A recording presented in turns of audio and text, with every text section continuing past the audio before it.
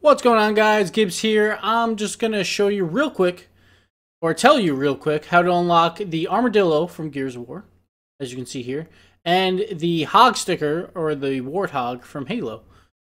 So this is the Armadillo first, we'll go over that. It is um, unlockable by beaten season mode. Doesn't matter what difficulty, it doesn't matter how many games, you just got to win the season mode. There's playoffs at the end. Uh, so I think the smallest is nine weeks. We can actually go into that real quick and show you. Yeah, so like I just completed my championship to unlock it. It was nine weeks, and then you have two playoff rounds. Is the easiest way to do it. And uh, this is the armadillo. We'll go into the garage and show it off. So armadillo, you can't change any paint. You can't add any hats or anything like that to this vehicle, um, or the warthog or hog sticker, whatever you want to call it. Uh, but you can change paint color. So I have the red on for the Gears of War. But for each team, like you have all your colors. Per usual. We'll, we'll stick to the red for now. Tires are just Armadillo tires. Look like that. And then we got the UV turret uh, boost. Sounds pretty nice, actually. But yeah, th uh, this was used, I think, in the first game against the Kryll. I can't remember if it was the first one or the second one. Uh, it could have been used more often too. I'm not sure. I can't remember. Hats again. You can't use you can't use antennas either. Uh, we'll jump uh, real quick into an exhibition match, so you can hear the car in action. I'll be quiet for the engines. Doesn't have much of an engine, but you can hear it for sure.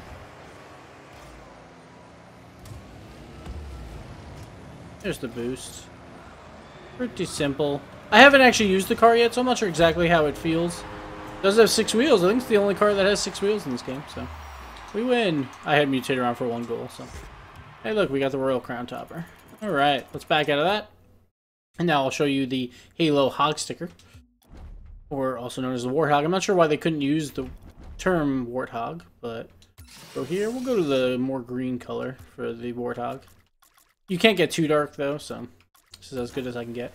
Anyway, so it's called the Hog Sticker. Has two Needlers as boost on the back. Got turret. Says Halo, says UNC, has the insignia. All that fun stuff. Has a tow cable in the front. Got its tusks. Got its Puma wheels. We'll go over that real quick. So paints again, like you can change, but you can't change paint type. When you can't add hats and all that. The Puma wheels. And the Needler boost, which is actually really, really cool. They actually bounce off the ground and stuff. We did a little test, and Like, you can see them here.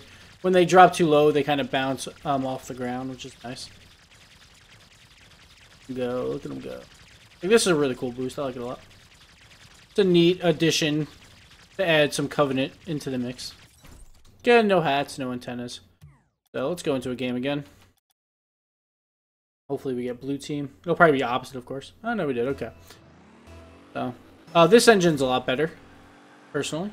Now, the way to unlock the hog sticker, I said, again, I'll say the Gears of War car, the Armadillo, you need to beat season mode.